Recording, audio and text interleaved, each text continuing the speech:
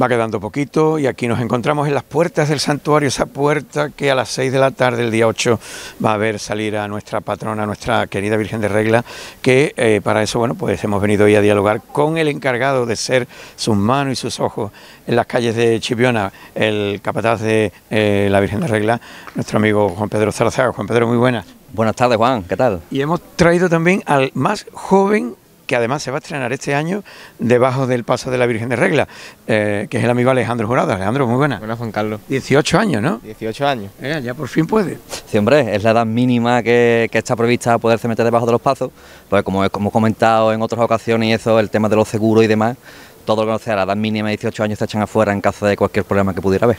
Bueno, ahora nos contará Alejandro cómo está de nervioso de cara a, estar ahí debajo metido. Y él tiene experiencia ya en otros pasos, pero bueno, lo, lo iremos, lo iremos viendo. Eh, antes que nada, ¿cómo han ido esos ensayos? Genial, Juan, genial. Las expectativas que había se han cumplido con creces. Las cuadrillas han trabajado magníficamente, ya te digo, había unas expectativas altas, pero cada año se va formando esa unión que se está uniendo, que se está creando, perdón, ahí debajo de, las trabajaderas y eso pues se, manifiesta después en el trabajo que han hecho. Eh, lo que ha sido la puntualidad a la hora de venir a, los ensayos y bueno, y, sobre todo, sobre todo, sobre todo, la ilusión y las ganas que, le, siguen poniendo un año más para sacar a la Virgen. Ha tenido que ser difícil seleccionar, ¿no? Porque habrá habido una convocatoria inicial con muchísima gente, ¿no? Sinceramente sí, sinceramente sí. Fue una, convocatoria que ha sido este año también bastante amplia. Eh, solamente hubieron dos huecos, uno en la baja, que, fue donde entró aquí el amigo, el amigo Alejandro, y otro en cuadrilla, en la cuadrilla alta. Y bueno, yo siempre, como digo, soy un instrumento más de la Virgen, me debo a ella y, estoy seguro que las dos personas que entran son las que ella ha querido. Ya está el paso, ya está el trono ahí, en el bajo, la Virgen ha bajado al presbiterio y ahora hay este año una novedad que nos comentaba el rector del santuario, que es que se va a poner, eh, no se sabe si en el centro de lo que es el templo o, donde está actualmente, eh, para creo que era el día 6, ¿no? El 5. El 5, el día 4 por la noche. Bueno, en primer, en primer lugar agradecerle desde aquí a la comunidad el, detallazo que va a tener con... Bueno, en primer lugar vamos a hacer un poco eh, con nosotros porque bueno, nos va a dar la oportunidad de, un par de veces más podernos poner delante y debajo de, la Virgen y después, bueno, pues con, la, con, la, con los feligreses, ¿no? con, con los devotos de la Virgen que, que la van a poder tener ahí debajito el día 5 ¿vale? El día 4 por la noche viene una cuadrilla para darle participación a las dos cuadrillas, una vendrá por la noche para bajarla del presbiterio y el día 5 pues vendrá otra más o menos a media tarde para que la subamos para arriba y esté dispuesta ahí para, el resto de la novena.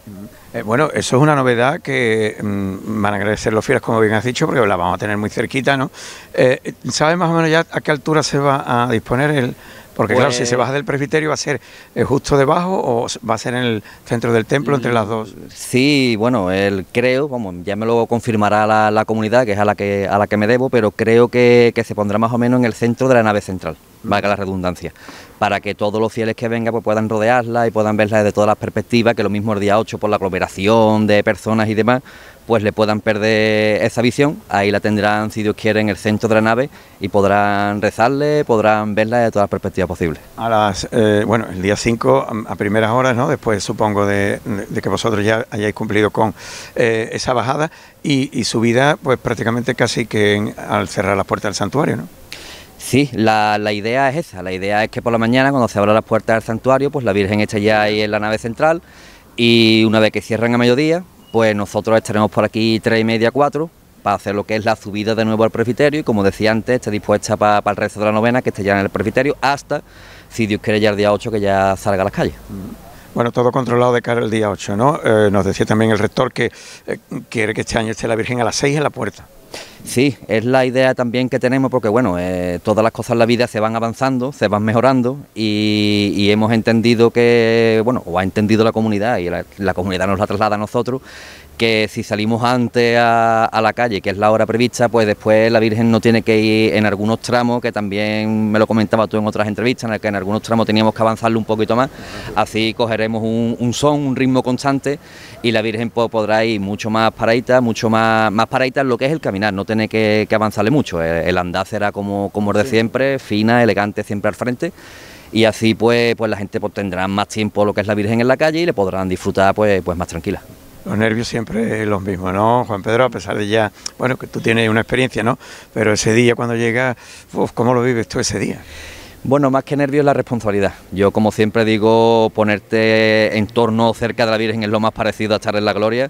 Yo me, pongo en sus manos y yo sé que con ella nunca, nunca pasa nada, ni a los costaleros que son los que, los que la portan, ni en la calle pasa absolutamente nada seguro, con lo cual en ese aspecto voy, voy tranquilo. Más que nada la responsabilidad porque es la devoción de, de muchísimas personas las que se ponen en la calle y bueno, y siempre intentamos de, que, de hacerlo lo, mejor posible para eso, para no defraudar a, todas las personas que vienen con tanta devoción y con tanta fe a ver a la Virgen. Y yo pues siempre igual, yo sí, el día que pierda esa, esa cosita de que te va llegando solamente los previos de sacar a la Virgen, ya no solamente el día 8, sino los previos de, empezar con los ensayos y eso, será el momento de tener que decir que no vengo más. Pero bueno, la Virgen para mí, como digo siempre, es mi madre del cielo, es mi protección, mi guía, mi todo y, con ella seguro que nunca perderé eso. ¿Cómo convocas tú a, la cuadrilla ese día?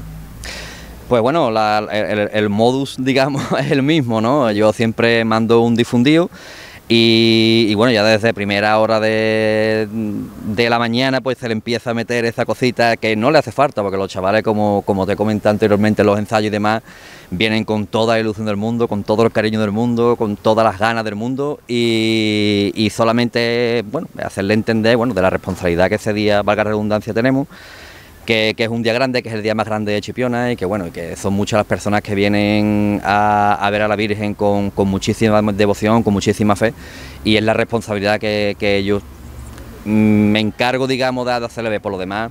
Lo tengo muy fácil. ¿Desayunáis juntos, almorzáis juntos o algo? No, en principio lo que venimos es desde por la mañana, venimos a lo que es a decentar el santuario, ponemos las rampas, las tarimas y todo el tema ese, escuchamos la, la función prácticamente todo el mundo junto, porque hay personas que ese día también trabajan y demás. Pero bueno, sí, desde por la mañana estamos juntos, pero lo que es comer y desayunar y eso es, un proyecto que tenemos ahí para volverlo a retomar, porque en su momento se hacía, pero bueno, poco a poco.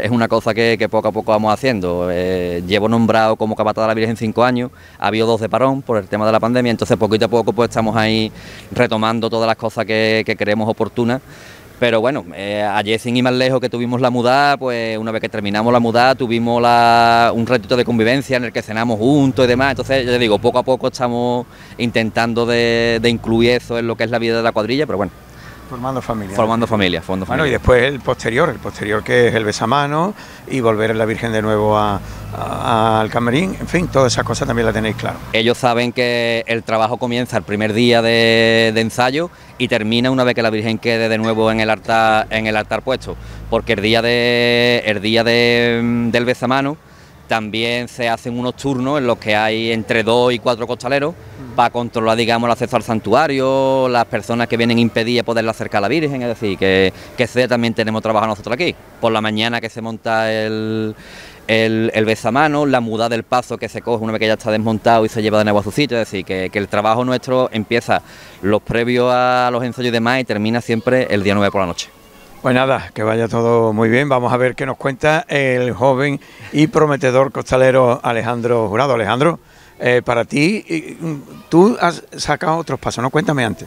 Sí, yo ya tengo experiencia, he sacado el Cristo, el Virgen del Carmen, el Corpus, también muchos pasos en Chipiona, los Dolores, la Piedad. Entonces tengo experiencia, pero en mi primer año en regla y una responsabilidad muy grande, como ha dicho Juan Pedro, con 18 años la verdad es que para mí es un privilegio y un sueño. Vas a tener a tu padre muy cerca, ¿no? Muy cerca, ya siempre lo he tenido cerca desde pequeño, también abajo y, ahora él está afuera y disfrutarlo como siempre, ahora de diferente manera, pero disfrutarla como todos los años. Tenemos que decir que tu padre cumple la función también en el paso. Mi padre es capataz, segundo capataz, acompañando a Juanpe y él siempre está donde la Virgen lo pone, pues él ahí está y yo la verdad es que mm, sigo su ejemplo, como siempre, como siempre digo, y desde pequeño me fijo en él, me fijo en todos los costaleros antiguos, también Juanpe, que también ha estado formando parte de la cuadrilla. Siempre me he fijado en ellos y ahora para mí es un sueño, porque los veo cerca, comparto con ellos y sobre todo aprendo porque para mí son los mejores. Sí, va a ser un año muy especial para ti. Imagínate para tu padre saber que, sus manos de su, hijo están ahí, ahí ¿eh? en su hombro. Oye, eh, ¿tú cómo te planteas ese día? ¿Qué, vas a hacer? ¿Los nervios los tienes ya apaciguados o no? Los nervios siempre están, Juan Carlos.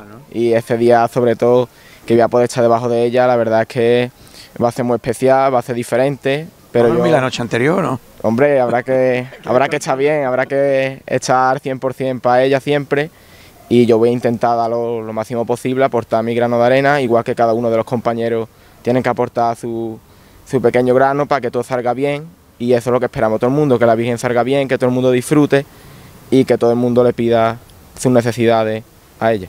Bueno, tú se lo vas a pedir muy cerquita porque la vas a tener ahí, lo has hecho eh, también, bueno, durante otros años desde fuera, ahora lo vas a hacer desde dentro. Yo creo que el objetivo más grande que tú te has marcado en tu vida como buen cofrade era eh, llevar a la Virgen de Regla, que es lo más grande que tenemos, ¿no? O sea que ya objetivo más que cumplido cuando pase este año. ¿Cómo lo vas a celebrar después?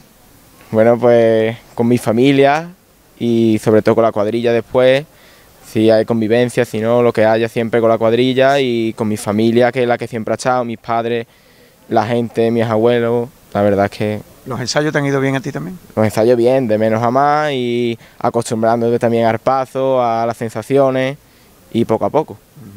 Eres un ejemplo para los jóvenes. Mm, yo sé que nos faltan en Chipiona, ¿verdad? Que desgraciadamente muchos se quedan fuera porque las cuadrillas son de lo que son, ¿no? Son 40 creo, ¿no?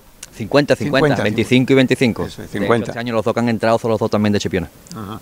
Bueno, pues mmm, que tengan paciencia, ¿no? Es lo que les recomendamos, porque tú lo has tenido hasta cumplir los 18.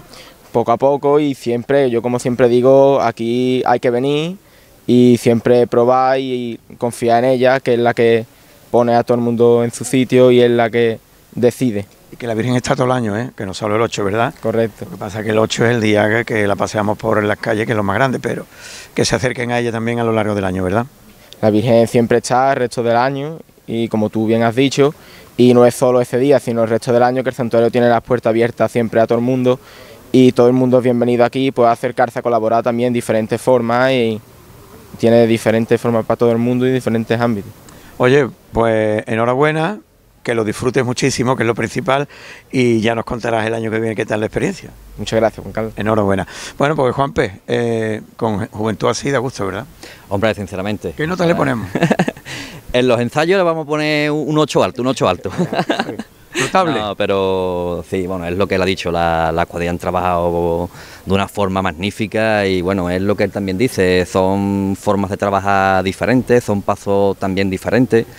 Este en, especial es un paso que es pequeñito, que es complicado, que a la hora de trabajar eh, se va muy juntito. Yo también, cada capataz tenemos una forma de, de, enfocar lo que es la forma de andar y demás a la Virgen en la calle. Entonces, bueno, todo eso tienen que, que asimilarlo. De ahí que decía anteriormente que no es un trabajo de un año. Tú un año no puedes coger y cambiarlo por completo todo. Entonces, con el tiempo, pues se va trabajando y van ellos interiorizando y asimilando cuáles son los conceptos que queremos. Pero bueno, él lo ha tenido fácil porque él lleva con nosotros desde pequeñito. Yo a mí me, me, da mucha emoción porque lo recuerdo cuando venía con su padre, que era muy pequeñito, incluso se metía con nosotros debajo del pazo cuando el padre y yo íbamos, íbamos juntos debajo del pazo y bueno, y poderlo este año incluso llamar debajo del pazo, pues para mí, si Dios quiere, será una, una sensación única y muy especial. También muy especial. Bueno, pues ojalá haga un día como el que está haciendo hoy, eso sería magnífico, digo, por ellos, ¿no? También, que no haga demasiado calor, que eso también influye. Pero bueno, ellos están preparados también para cualquier cosa. De sobra, con la Virgen ellos saben que no hay ningún tipo de problema, la Virgen seguro, ahí no, no, no, pasa absolutamente nada. Cuando te metes ahí debajo de la Virgen o los que vamos en torno a la Virgen, se hace como una burbuja en la que el tiempo se para y cuando te das cuenta pues estará la Virgen de nuevo aquí y yo estoy seguro que la Virgen ese día nos regalará un día maravilloso, esplendoroso y solamente cuando salga por ahí por la calle pues ya resplandecerá todo Chipiona entero. Pues enhorabuena a todos los costaleros que en esta ocasión bueno han hecho también su trabajo previo como es habitual, enhorabuena al capataz, a tu madre también por supuesto y a ti que te vas a estrenar y que sea por muchos años más, que nosotros lo veamos y lo contemos aquí en la Radio y Televisión Municipal. Sí, Muchas gracias. A ustedes siempre Juan.